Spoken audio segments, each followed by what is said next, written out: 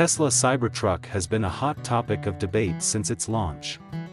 Some see it as a groundbreaking design, while others criticize it as impractical and unreliable.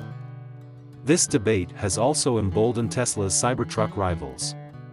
One of these is the Aitekx Robotruck 1T. The Aitekx Robotruck 1T has a design that is very similar to the Cybertruck. It has the same wedge-shaped body, the same stylish lighting units, and the same compact greenhouse. However, there are some differences. Quality When it comes to pricing, the Robotruck 1T is a bit more affordable than the Cybertruck. The starting price for the vehicle is $45,000, while the top-of-the-line Hyper iX Sport Signature AWD is $99,000. The company is accepting reservations for $100.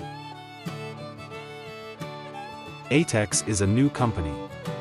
The company's website and social media accounts raise some questions about its reliability. What do you think about this? Real photos are at the end of the video.